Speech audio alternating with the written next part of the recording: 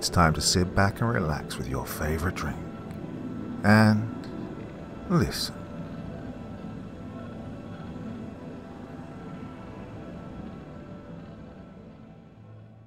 I'm a subcontractor for an agency that fights monsters.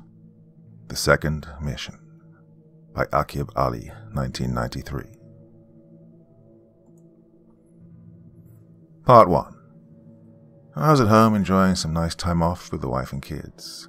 We were watching a chilling horror movie, munching on some popcorn, when out of nowhere my phone rang, interrupting movie time. I passed the bowl to my wife and gave her a wink after seeing the name that popped up mysterious British guy. I showed her the screen. She frowned, gave me the death stare before peering deep into my puppy dog eyes. Finally, after a moment, she gave me the approval with a nod. Oh, thank God, I thought. Hopefully he's got some more work for me. I'd nearly burnt through the entire 50 grand I was paid for the previous mission. I was excited to finally get a chance to kill more monsters and creatures. I'm telling you guys and girls, it's a buzz like no other. So, without further delay, I made my way to the conservatory, closing the door behind me, swiping my finger across the screen. Hello, I answered. After a while of silence, he spoke. Mr. McCarty, how are you doing? He asked in that posh accent of his. Ah, not bad. You know how it is when you're sitting at home playing video games with the children all the time, I replied. The past few months relaxing at home had gotten kind of boring. Well, uh, money's getting a bit tight. Got any more work for me? I asked, releasing a bit of popcorn that was stuck between my teeth with my tongue. Ah, you know me. I only call when it's something important. You'll be happy to know we have another mission that requires your expertise, I answered in a somber tone. So, um, what's the situation? I grinned. I couldn't wait to get my hands dirty again and make some serious money. I'd been eyeing up a nice holiday for the family later in the year, but without more money, it would be impossible. Right, I'll just get on with it. In the early hours of the morning, I received a call from an old friend of yours, Colonel Hanson. He explained a situation that has developed in the Middle East. A group of archaeologists discovered an ancient burial mound near an old cave system deep in the Arabian desert. They went in to explore and have been absent for over a week. The government of Oman has requested assistance from the SDF who can't spare any people at the moment unless something serious is discovered, he explained. Although the Middle East is primarily comprised of what seems like an endless desert, there's much we don't know about what's underneath all that sand. It could be as simple as the archaeologists got lost in the caverns and can't find their way back to the entrance. Or maybe they touched something they weren't supposed to and awakened something far worse. Something that was left there to be kept away from the rest of the world. Yeah, it's understandable they have bigger fish to fry. You realize this could be bigger than just four people going missing, though, I explained. Yes, but we won't know until the area has been investigated, he replied. And he was right. There was no way of knowing without boots on the ground. All right, I agreed, before asking, What exactly is the pay going to be like? Again, I won't know the exact figure until the job is done. Depends on how serious the situation is and how much effort is put in. My bet is the Omani government don't want this to get out. Four dead archaeologists on their turf is going to be an international scandal, to say the least. So discretion is advised, and please don't speak to anyone else about this, unless it's to someone who has prior knowledge of the mission. He paused for a moment. Are you in, or what? Give me a few hours to get my shit together before you send your fancy dad to... Uh, I chuckled. You've got two hours. The fancy lad's Uber won't wait around. Anyway, I need to sort a few things out, so I'll talk to you once you get here. He finished, and then the line went dead. Yes, I cheered under my breath. Finally, I landed myself another job. I wasted no time and got ready before the blacked out SUV reversed onto my driveway. I kissed and hugged my wife and kids goodbye before entering the car. Nearly two hours later, we arrived at that same old farmhouse as before, right in the middle of nowhere. I thanked the driver, who wished me good luck on the mission, before I grabbed my things and made my way to the entrance of the house. Jessica, Brian, and Carl sat around the table, along with the British guy. They all stood up to greet me. Luckily, Jessica had made a full recovery from the injury she'd suffered during the last insane mission. Brian and Carl both greeted me with firm handshakes and expressed their enthusiasm for working with me again. But the honor was completely mine. Even though we were a ragtag band, this little team of ours was capable of doing some great things. Now that you've all had your little romance, I think it's time to get down to business. The British guy interrupted, motioning us to all sit down. You've got one hour to get into your battle suits and prepare your weapons. We're under a lot of pressure right now to get this done in a timely fashion. McCarty, you'll once again run point on the mission. Remember, I'll be here as your guide and, and make sure to keep me informed. I'm hoping this is a simple extraction, but all do you know that things can go sideways at any moment. We're on a bit of a tight schedule, so you better get going. He finished, before leaving the table for his desk. We all made our way to the armory and caught up while strapping into our new and improved battle suits that had been updated with better technology since we'd last used them, reducing the weight. It felt a lot easier to move around, and the helmets covered the entire head, unlike the previous versions. The suit snugly connected to our wrist mounted PDAs, which had also been installed with new software to control the advanced features of the suit. We didn't exactly have the time to mess around with the suit, so I guess it was going to be on the job training. I picked up my Scar battle rifle, my M1911 pistol, along with as much ammunition and supplies as my rucksack could handle. The familiar sound of an MV-22 Osprey began to hum in the distance. We got on board once it landed and made our way to our destination. Fast forward 18 hours later, and a very sore bottom, we'd arrived. The Osprey hovered a foot above the sandy terrain to allow us to jump off with our belongings before leaving us ankle deep in the unstable sand. Can everyone hear me? I asked, testing to see if the comms worked. Loud and clear, Jessica replied with a nod, whilst Carl and Brian both gave me the thumbs up. All right, look over there. I pointed out a group of tents where the excavation team must have made camp. The teams don't usually camp so far away from the dig sites, in my experience. My bet is that there's someone there that can guide us to the right location. The camp was rather empty except for a few men who'd stay behind in case the explorers made it out. The leader spoke some English and agreed to take us to the dig site for a small price. We explained to the man that we didn't carry any money, but he settled for a silver bullet, which held some monetary value at least, rather than a tool used to kill creatures. So, without further delay, we were taken to the entrance of the cave and instructions of where the mound was discovered. Old tools and excavation equipment littered the area, along with all sorts of supplies. As we moved into the cavern, the darkness began to consume us. I switched the suit on. The LED light strips illuminated the area around us, and a small heads up display appeared in the visor. A small map appeared in the bottom right corner the further we moved, the more it filled in. On the left, information on my vitals. It was like something out of a futuristic science fiction movie. The cave led us to a small crack at the front of the cavern wall. We'd been told the archaeologists had gone through where a prehistoric burial mound had been discovered. However, the second time they'd entered, no one returned. We all took in a few deep breaths and readied our weapons before taking our first steps through the mouth of this unknown structure. Footprints in the sand led us about half a mile into the dark depths of these ancient caves, where the remains of a sandstone temple presented itself. A doorway atop a stairway, surrounded by two gigantic pillars on either side that held the giant stone ceiling above. What the hell is that? Brian asked, crouching down with his weapon pointed at the entrance. Hmm, looks like a temple of some sorts. Normally burial mounds are not as fancy as this. I replied, admiring the architecture.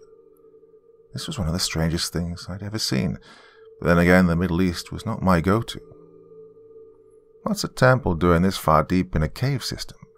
Carl asked while looking around.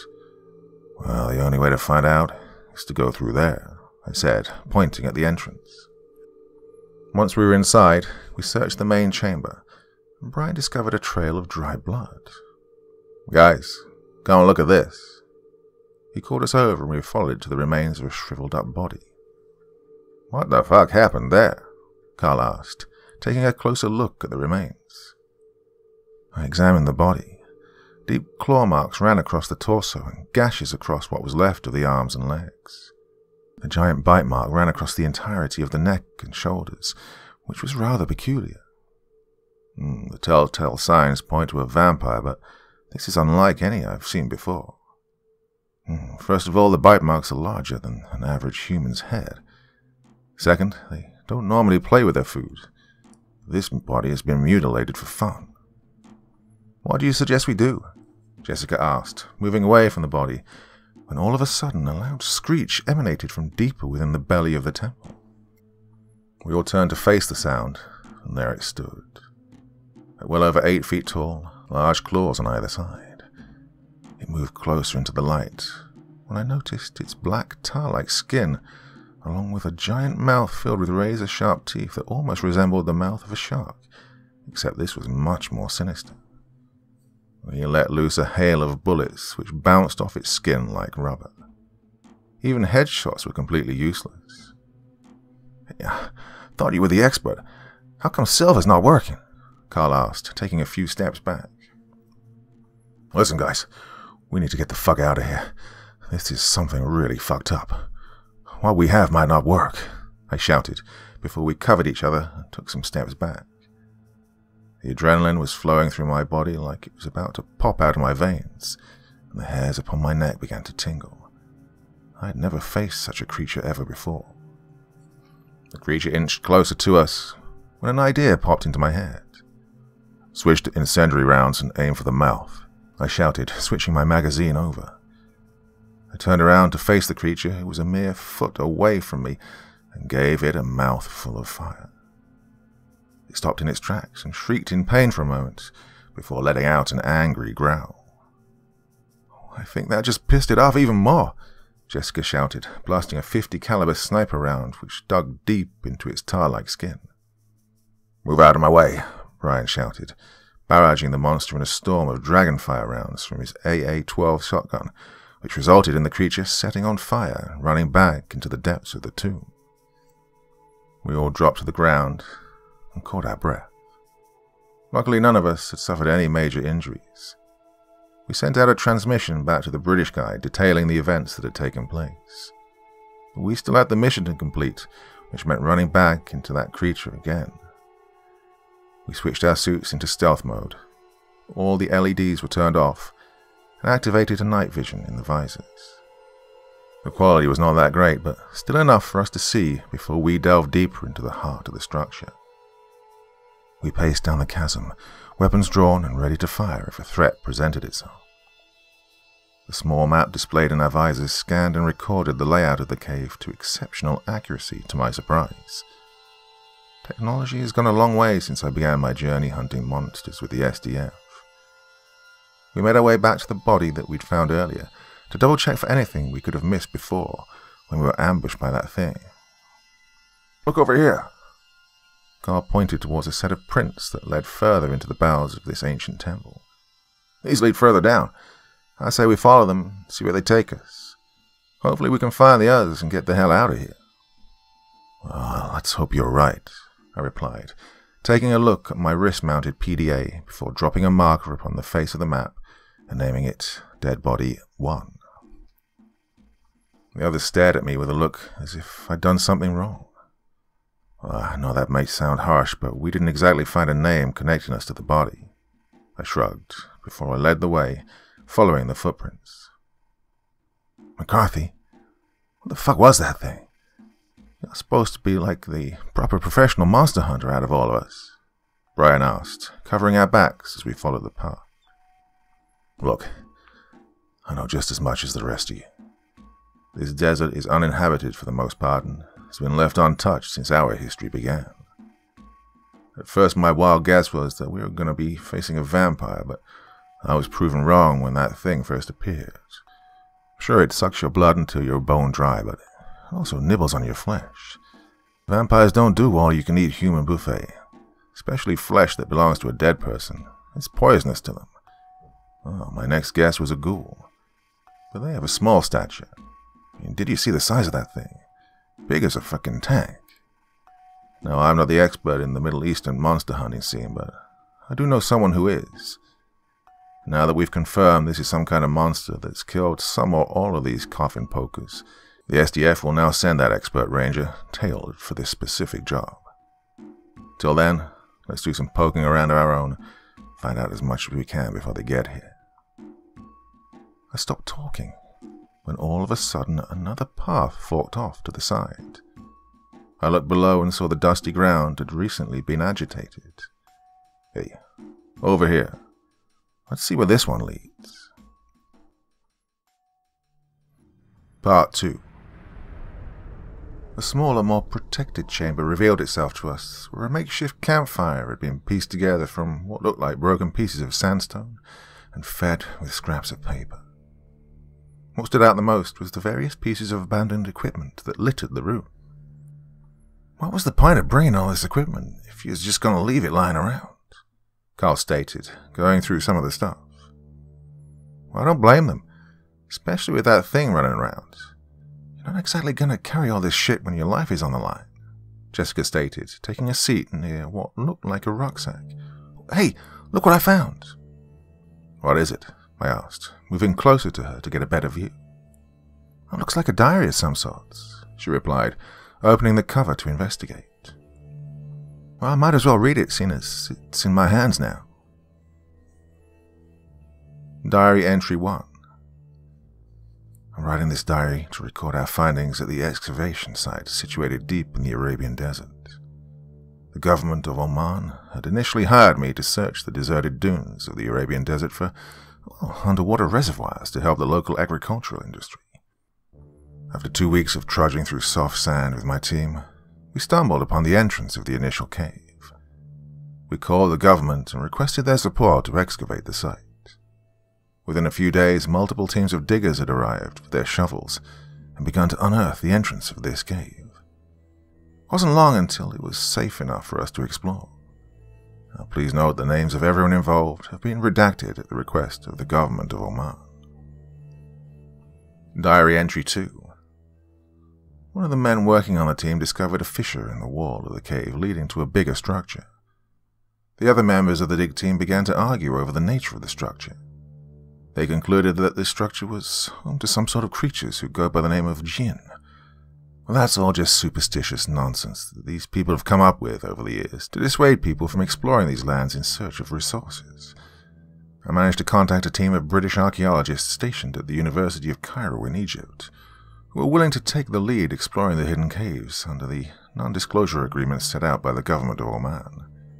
They agreed to fly over as soon as possible. Diary Entry 3 the archaeology team have arrived with all their fancy equipment and taken the lead on how to approach the expedition. Most of the dig team have left us, too convoluted in their superstitious tales of the supposed demons that live in these lonely caves. At least these archaeologists are of sound mind and can't wait to be the first people to explore the cold bosom of these prehistoric ruins. After a while, we discovered a structure of some sort. Upon closer inspection of the architecture, it was noted by one of the older members of the team that the construction dated further back in time than the ancient pyramids of Giza. I wonder what secrets this place holds for us to all unravel. After a short safety inspection by the team, we were cleared to enter the belly of this beast. Diary Entry 4 Archaeologists are confused. The doorway led us through a main chamber, then down an endless path of caves leading to absolutely nowhere by the looks of it. Why was it built here? Why did these people dig a massive tunnel that seems to go on forever? These questions still have to be answered.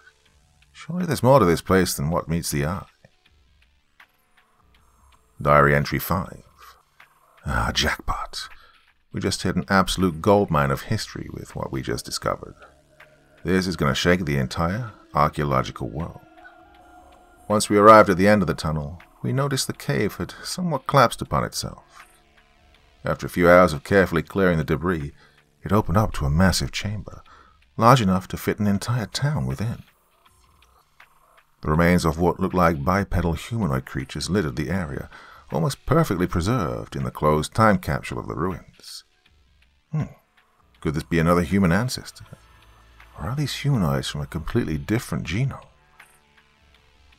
Diary entry 6. Oh, damn it.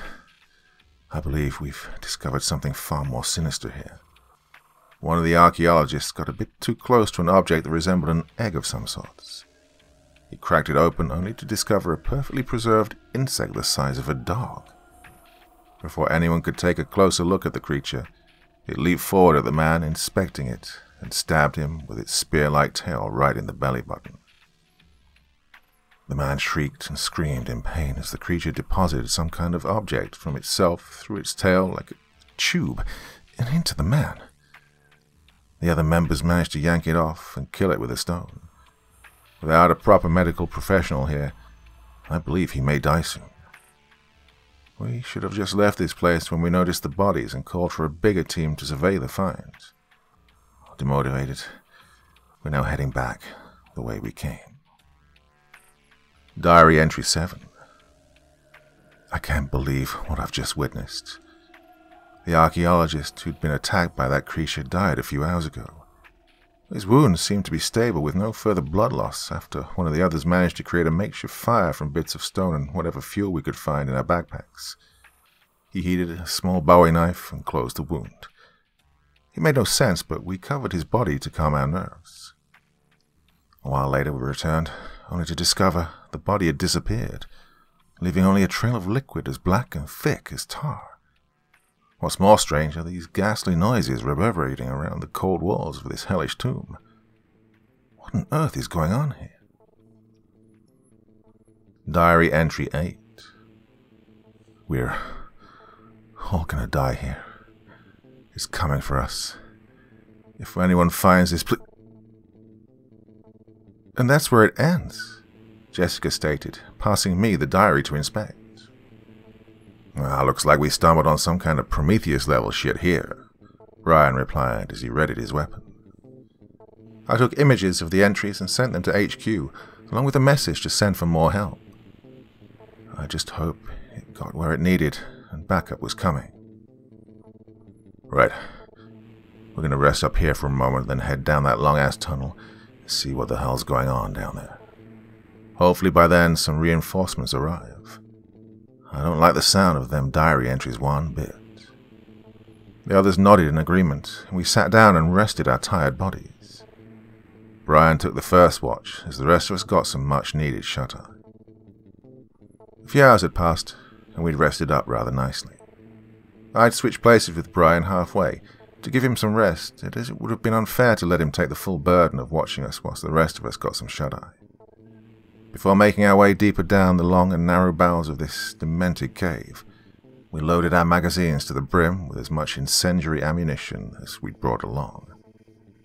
Fire was the only thing that seemed to affect that god-forsaken creature.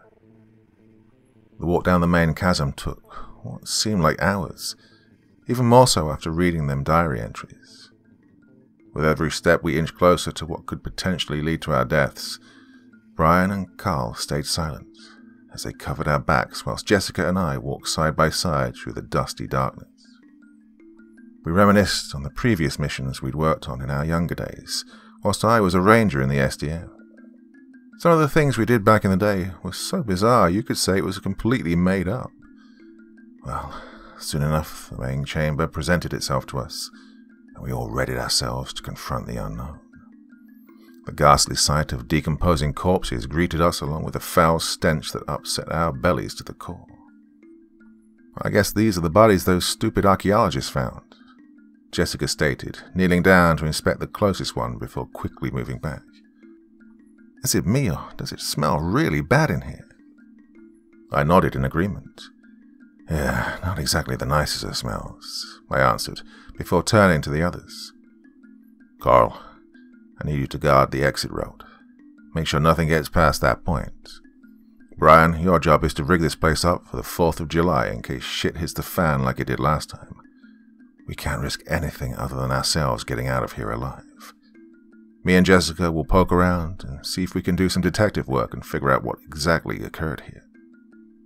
I tapped a button on my wrist-mounted PDA to begin a video log from the camera mounted on my helmet as Brian and Carl got to work on their tasks. I turned to face Jessica. You ready? Hell yeah. I can't wait, she replied, sarcastically before adding, Oh, you lead the way and I'll follow. I decided to first take a closer look at these humanoid beings that had been butchered. Their limbs had been gnawed at and chewed into mincemeat similar to the body we'd found earlier. Their blood also appeared to be sucked dry. From the ones that were not as damaged, I deduced that their heads were slightly larger and more elongated compared to humans, and their limbs would have been longer and more slender. They probably stood a few heads taller, and from what remained of their clothing, it appeared to be made out of a synthetic material of some sort. Jessica pointed out something unusual that appeared to be present in all the bodies. Large puncture wounds in the groin, large enough for a fox to burrow in. The marks on the ground near the wound suggested it was caused by something coming out, and not an entry wound. Brian was right. This does look like something out of an alien movie. Except these creatures don't burst out of your chest, but rather your belly, Jessica scoffed. The disgusting thought of these monsters planting an embryo in our bodies before killing us in a bloody explosion for their own birth sent trembling shivers down both our spines. We both took a step back to take a breather and calm our nerves.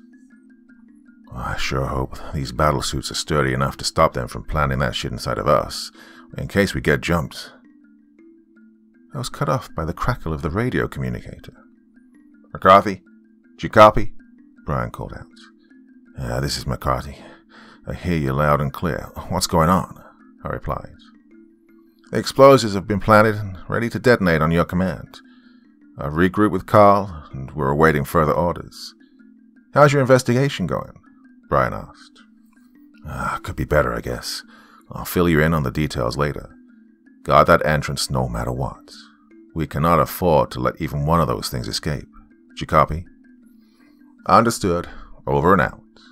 Brian finished, before the line went dead and the channel with Jessica returned, who stood observing something in the distance. Hey, uh, what is it? I asked. I'd seen that look many times in the past. Whenever she noticed something, she always had that look about her. Over there. She pointed towards a small gap in the wall of the cavern. What is it? I asked, taking a few steps forward. Everything looked normal to me except for a slight blur in my night vision overlay. It looks a bit blurred to me, that's it. Switch off your night vision, you clown. You'll see what I mean, she explained. I switched it off, and that's when I noticed a faint blue glow escaping through the gap. It would have been impossible to spot whilst in night vision mode. Luckily for me, Jessica had always had a knack for noticing these kinds of things. What do you think it could be? she asked, following my back as I moved closer to the unusual light with my weapon drawn.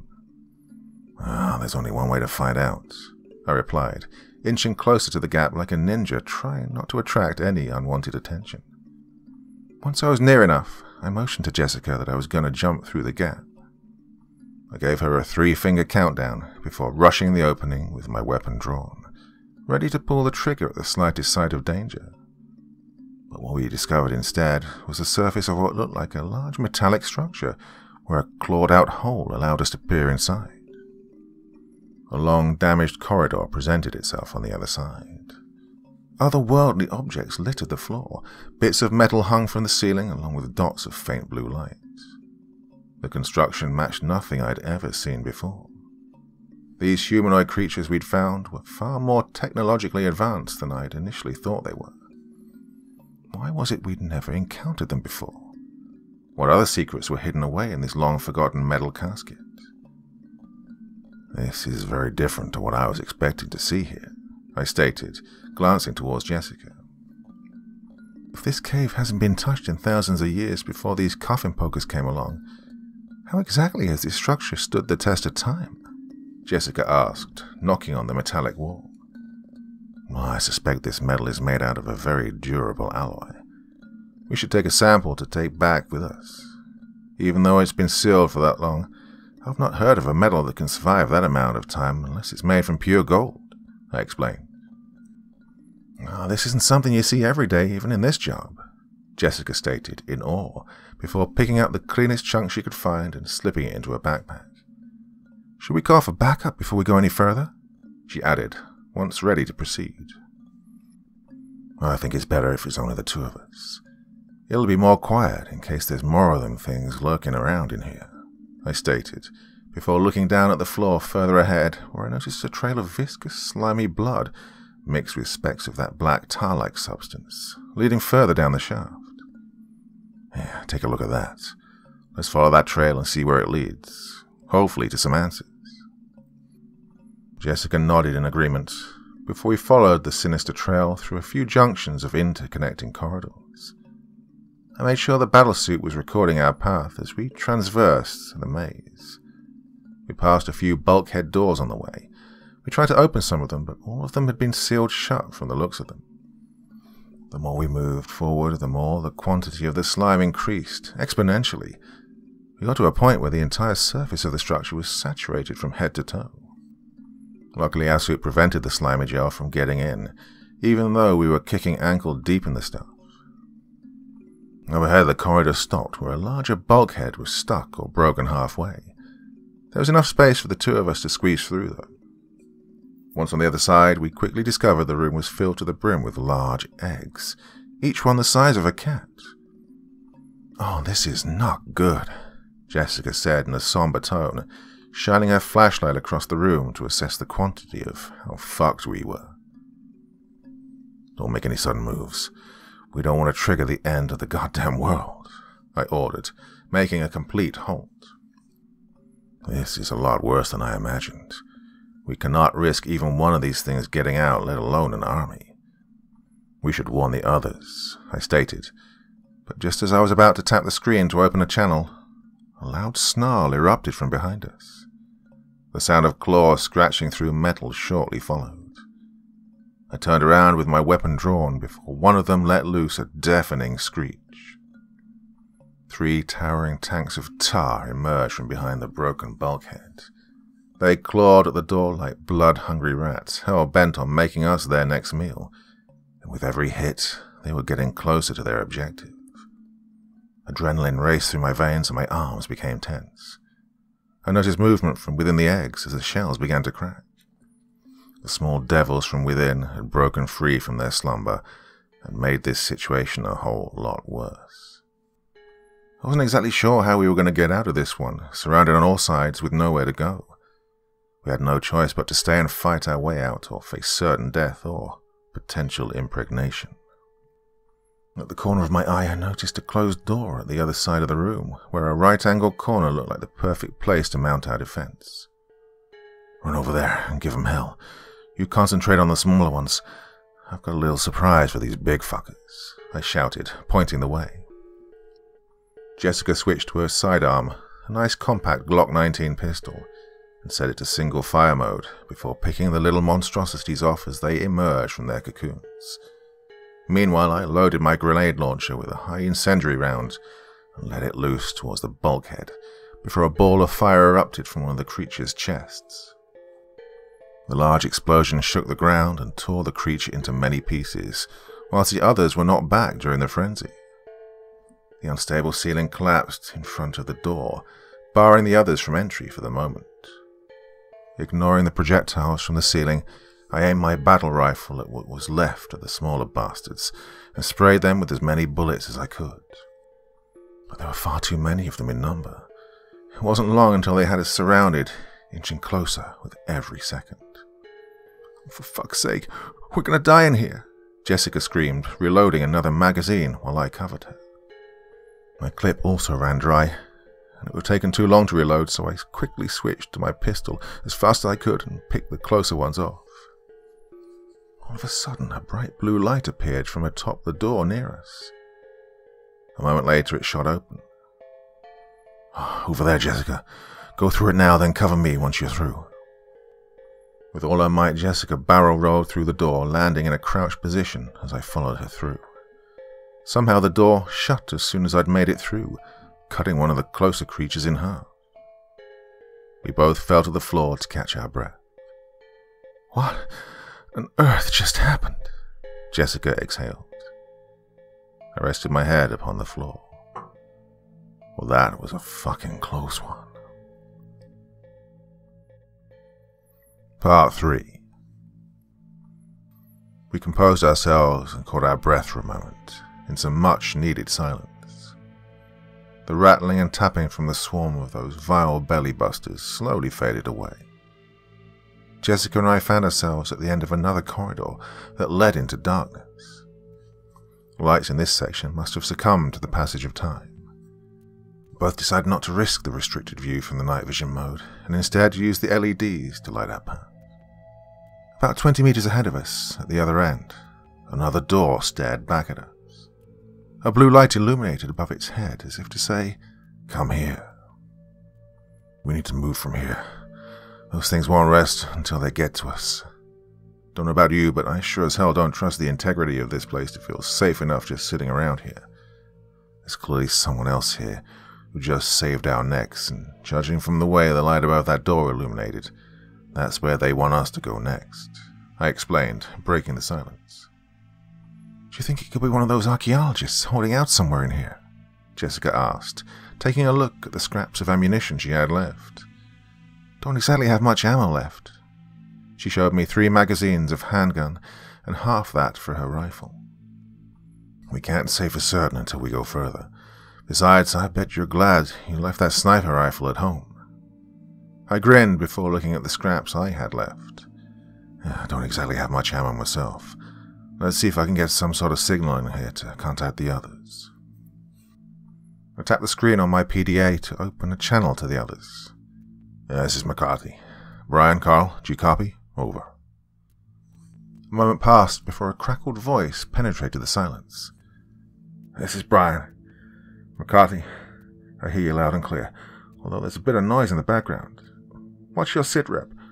We heard a whole lot of commotion. Yeah, we got ourselves into a little bit of a pickle. Keep your eyes peeled. There's a metric shit ton of them little fuckers crawling around. Maybe one or two of the big ones. We're kind of stuck inside a strange structure, but we're trying to get out of here. Affirmative. Do you want us to come help? Over. Carl interrupted. Negative, just guard that entrance. Like I said, this situation is getting more out of control the more we investigate. Me and Jessica will find a way out of this. We think one of them archaeologists might have survived and is holding out in the control room. Over.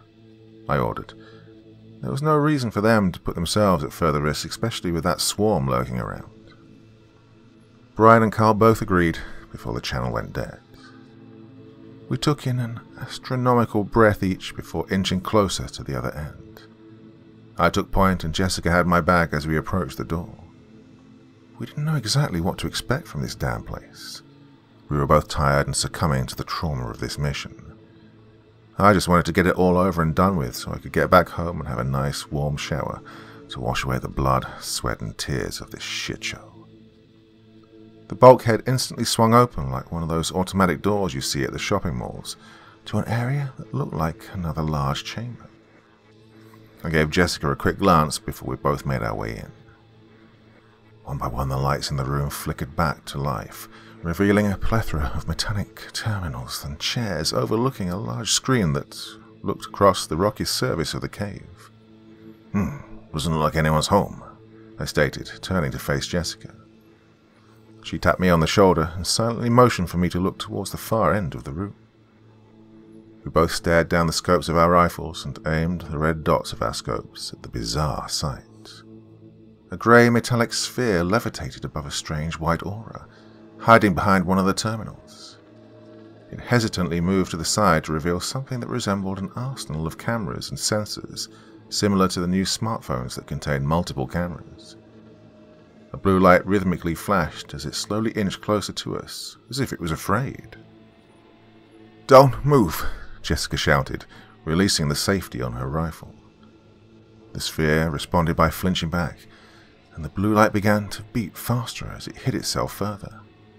Jessica, put your weapon down. I don't think this thing is a threat, I ordered, before relaxing my weapon and slowly moving closer with my arms up. I mean, if it had wanted to cause us harm, it would have done that by now. Easy now. Look, I'm not going to hurt you. The sphere peeked out again from behind the console, and once it thought it realized we weren't a threat, it began to move out again and came closer to me until it levitated a meter from me at head height. One of the instruments from its cluster opened, and four laser beams scanned me from head to toe. I felt a strange reverberation throughout my entire body, as the hairs going down my neck stiffened. The beams moved closer to my PDA just as the lights on my suit began to flicker before powering down. What the fuck is going on?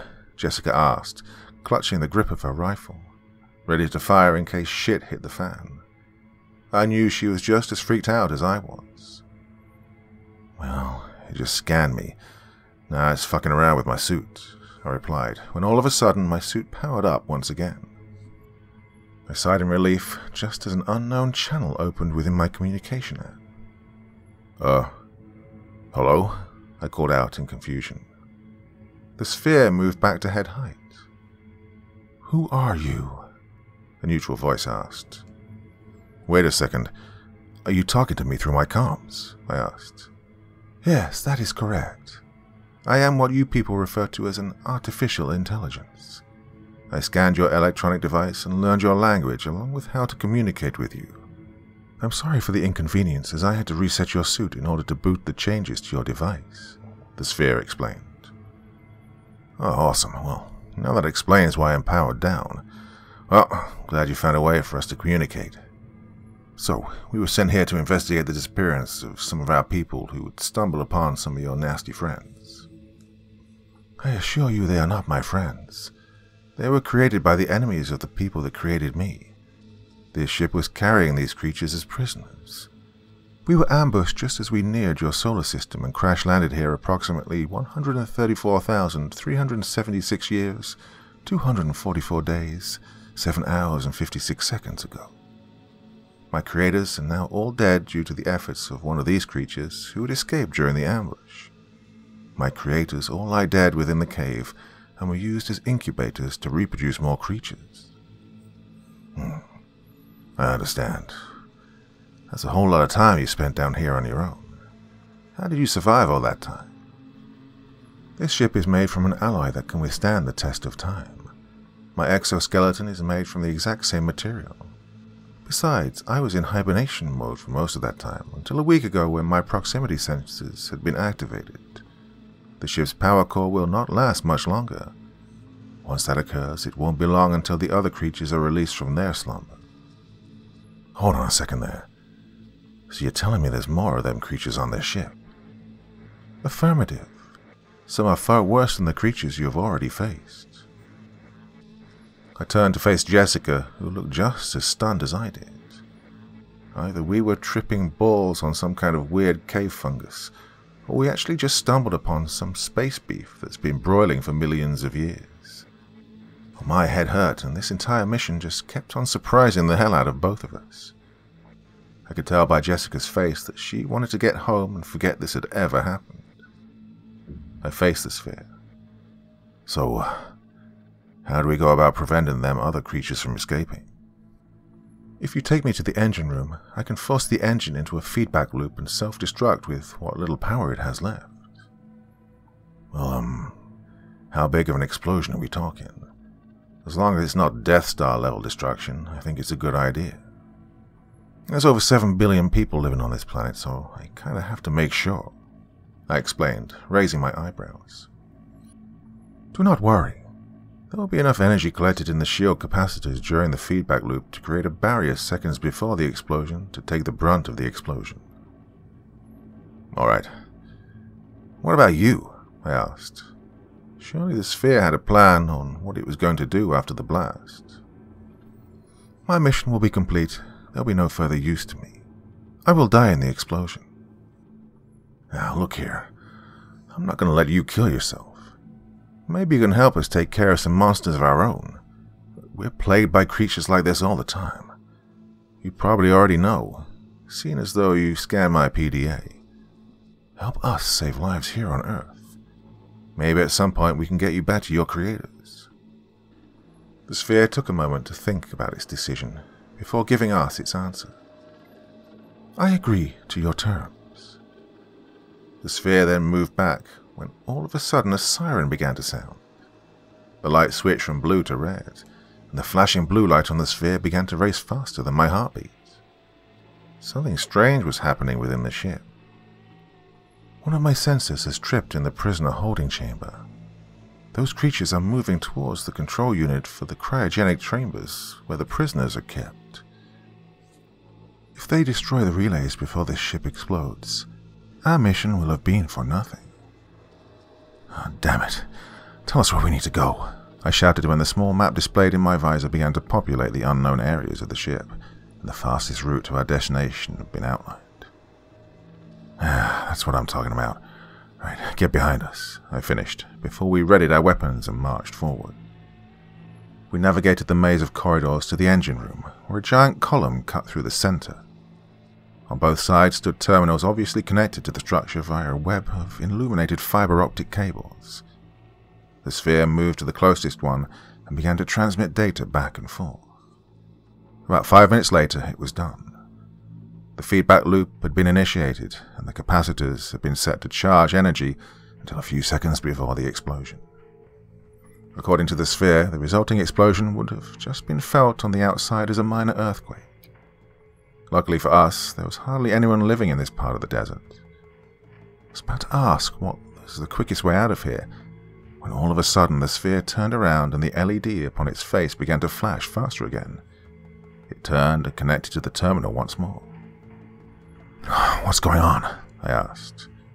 The surviving creatures are currently trying to destroy the cryogenic relay that is keeping the prisoners at bay. We must prevent that from occurring, or else our plan would have been for nothing.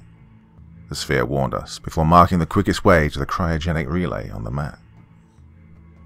As soon as we arrived, I noticed a swarm of belly busters gnawing and clawing at the metal wall where I assumed the relay was situated. From the damage I could see on the wall, I guessed it was only a matter of moments before the wall caved in and exposed the heart of the relay. Jessica moved to my side before we both aimed our rifles at the swarm, before letting loose a volley of well placed shots. As soon as the first shot was fired, a small group of the creatures broke off from the main body and concentrated their efforts on derailing our mission.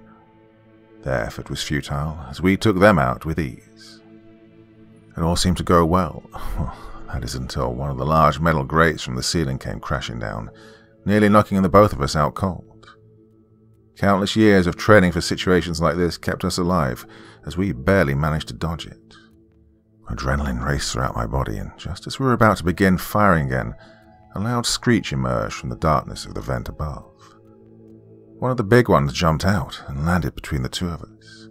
Deep wounds scattered along its body where the grenade I'd let loose earlier had sliced its tarry skin. The creature swung its razor sharp claws at Jessica, who leaped back and hit the wall of the corridor. I finally got an opening that was safe enough and fired a few shots into its head, which caused it to shift its attention to me for a moment. This gave Jessica a moment to move away and come stand next to me. I'm running out of ammo. You're probably in the same boat, I shouted. What do you suggest? Jessica replied, providing some covering fire as we backed up. Ah, there's no way we can fight the big guy and the little ones at the same time. We need to fall back and regroup with the others. On my mark, we run. I loaded a grenade into the launcher and pressed the trigger. It impacted the ceiling and exploded. The metal grates upon the ceiling rained down upon the smaller creatures, squashing them like pancakes whilst another grate hit the larger creature in the head, knocking it to the floor. That was our chance to escape. Now, let's get out of here, I screamed, before we legged it out of there. Part 4 We darted through the corridors as fast as we could. At this point, my legs felt sore and my back hurt like hell, getting worse with every step I took. The mission had taken its toll on us, with no expenses spared. Jessica somewhat limped on, with her leg slightly slumped. Oh, I know that stubborn woman all too well, to know that she'd carry on without saying anything when hurt like she did the last time on the previous mission. As we reached the punctured hull of the ship, the sphere suddenly stopped. I wouldn't have noticed if it didn't turn to check if the creatures had caught up to us. It spun around and stared down the empty corridor. Jessica leaped out before turning to see why I'd stopped. What's going on? Why have you stopped? she asked, clutching her rifle tighter in her hands. No idea. Just get the others, I'll sort it out, I replied, taking a few steps back. Hey, Sphere, come on, they're on our tail, I exclaimed, taking a few steps towards it. I sure as hell didn't want those things catching up on us. I didn't have enough energy at that point to lone wolf a battle. They've destroyed the relay. It's no use. They will escape before the ship will self destruct, it explained. Come on. We need to regroup with the others to mount a proper defense. If they get to us here, we'll both die. At least with the others, we have the slither of a chance to survive. The cave has been rigged with explosives. We'll blow this place to smithereens before we allow them monsters to escape. I'd really hoped my pleading was going to do the trick. I was really hoping we could use the sphere to make a difference in the war against these monsters that roam freely above ground. The light on its instrument cluster flashed for a moment as it calculated its response. Then it turned back to face me an inch closer. It sort of gave me a nod of approval. It must have learned that from interactions between me and Jessica. Sounds of metal clanking approached in the distance, and figures began to emerge from the far end of the corridor. I turned and hightailed it out of there, remembering to open a channel with the others. Brian, Carl, do you copy? Over, I yelled. We're here. Jessica's sort of running towards us. Over, Brian replied. All right. Please don't shoot the floating sphere thing. We're coming in hot. I we're coming in hot. Get into defensive positions now. Over, I yelled once again before they came into view. Wait, oh, never mind. Understood. Over, he finished. Brian and Carl both stood with their rifles a few meters apart. The sphere and I rushed through the gap when they both ignited a couple of flares each and lobbed them into the center of the cave. They anxiously waited for the onslaught to begin, whilst me and Jessica snatched a few magazines from a pile that had been left for us once we'd arrived. We quickly reloaded and took our place in the center of the gap as the horde began to emerge. The sphere inched back a few spaces as a storm of growls and screeches emerged from the darkness, shortly followed by their sadistic silhouettes. Incendiary rounds glowed through the air, hitting their marks.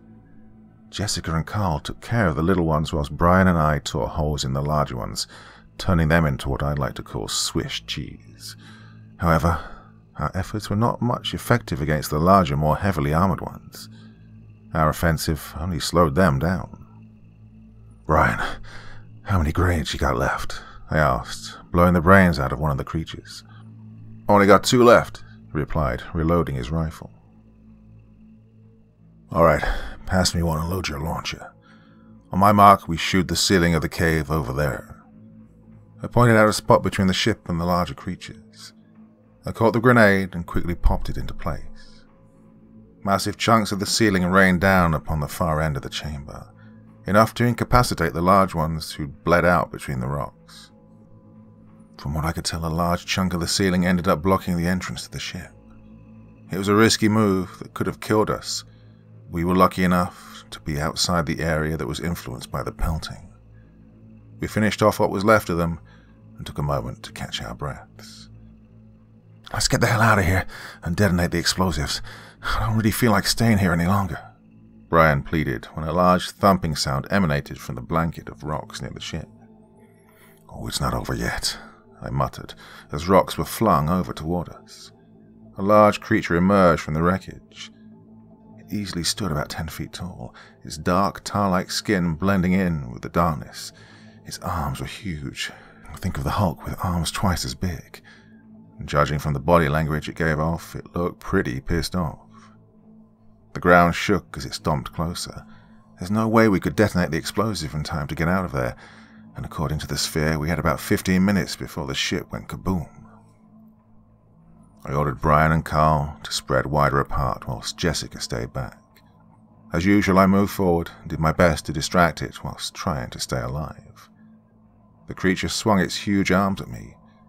Its larger size meant its attacks were slow, but they did pack a punch, leaving giant craters in the ground where it had missed me.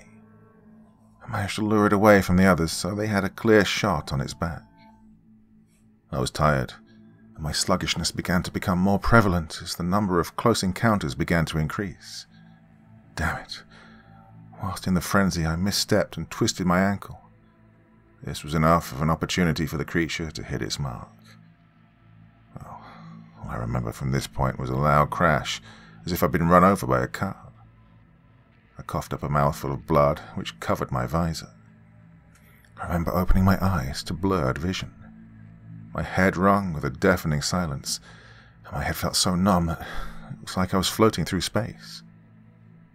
I would have been dead if it weren't for the armored battlesuit. With what little energy I could muster, I managed to remove the helmet. The others ran and positioned themselves between me and the creature who clearly had a grudge against me. They let loose a hail of bullets, but to no success. Get out of here, I ordered. But they didn't listen and stayed put as the monstrosity inched closer. Get out of here and blow the explosives. Brian moved closer to me and knelt beside me. You'll live. Now stop complaining.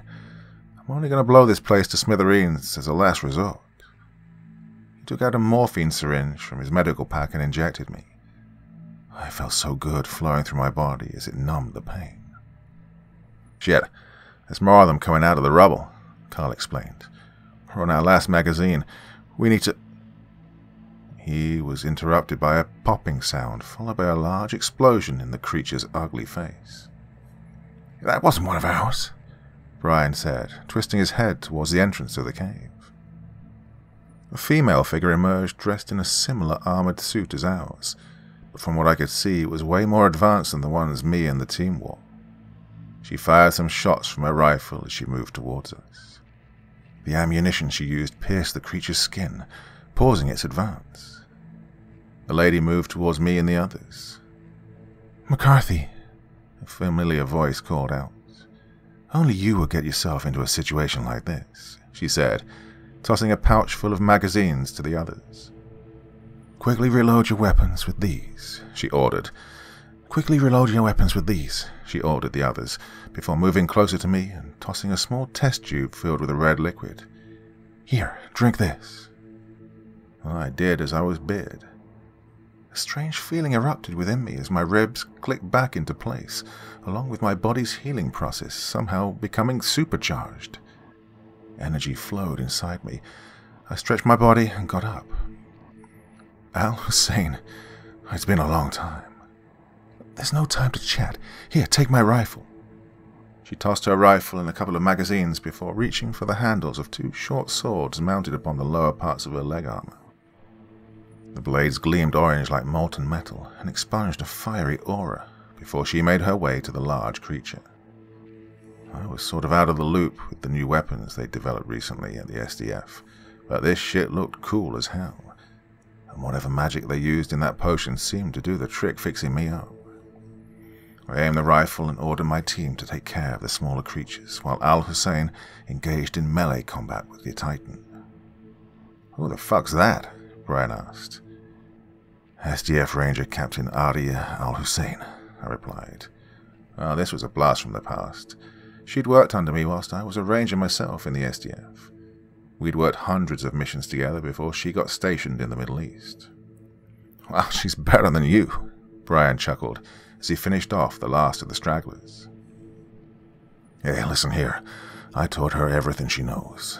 Just ask her, she'll tell you the same, I replied. Arya deflected a blow from the Titan before slicing it a few times in the belly. She was much faster and agile compared to myself and had the advantage of youth on her side. However, the creature was unyielding no matter what she did. She went in for a lunge when the creature grabbed her with both arms and lifted her up.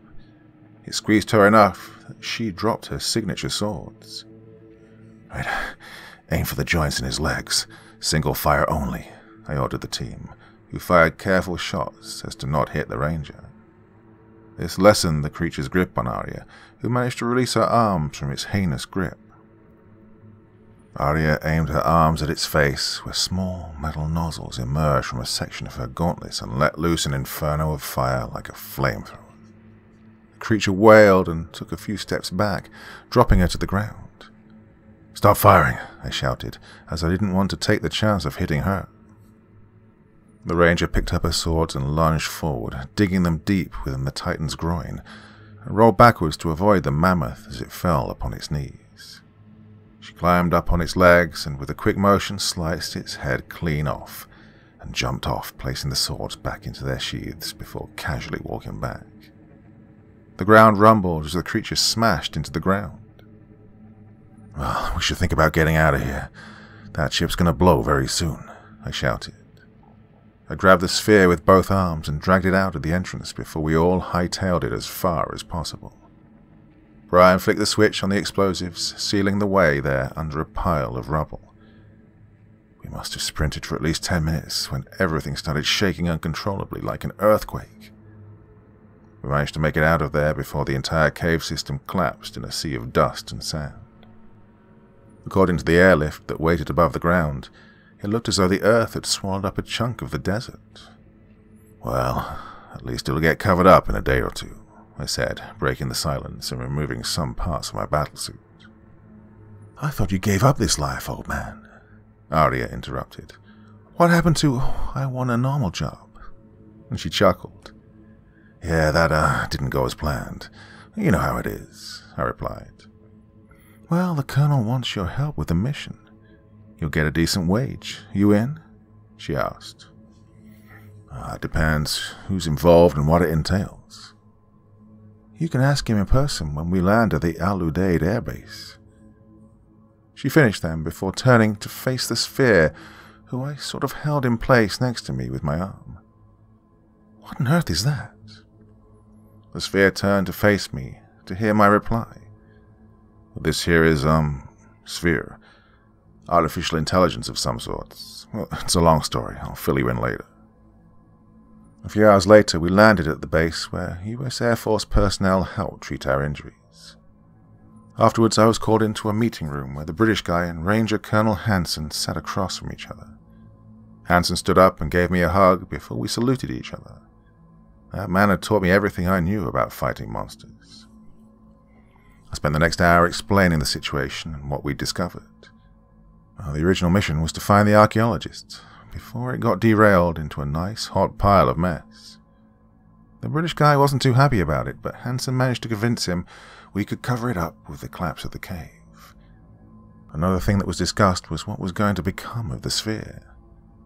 The British guy tried his best to keep possession of it as he financed the mission, but the SDF had the ability to pull some rather long strings that would have ended badly for the Brits it was decided that the sphere would go to a SDF research facility where it could help with the fight against the other creatures that terrorize the Earth. Well, that's all over. We need to talk, Hanson explained. Yeah, Arya mentioned something about another mission you have for me. Yes, indeed. Colonel Tamaramo is leading a large mission in Japan. He turned to glance at the British guy who still sulked at his defeat over the ownership of the sphere The contents of which are very classified. I'll fill you in on the details later on. Here, take my phone and speak to your family. He tossed a military grade mobile phone which had the ability to call anywhere in the world.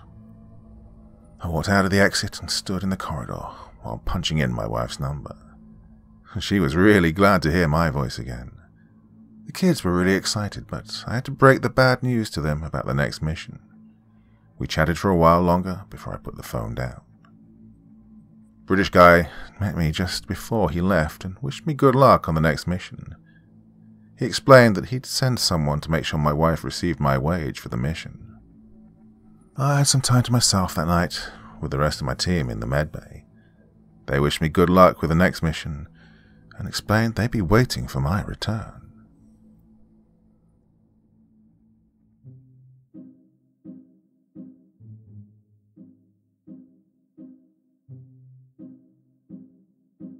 All right, all right. Well, sometimes it is just me not getting around to doing the next episodes, but sometimes I do have to wait patiently on the authors to get around to writing a bit more of these series stories.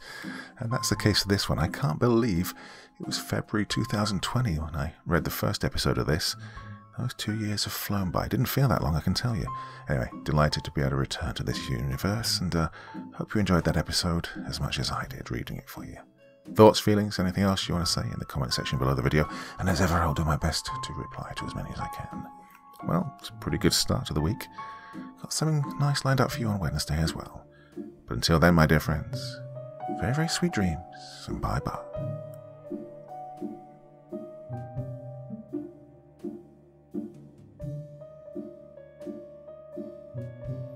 Thank you so much for taking the time to listen to this story today really means a lot to me and to the author of the story, of course. Well, if you want to know more about me, I'm pretty much everywhere on social media. You can find me on Facebook, Twitter, Instagram. You can download my music on SoundCloud. Um, I've got a Patreon if you feel like. Throw me a dollar or two. Very much appreciated. And of course, on Reddit, I have a place where you can leave stories if you want me to read one that you've written. Well, hoping to see you all again very soon. Till then, sweet dreams. and Bye bye.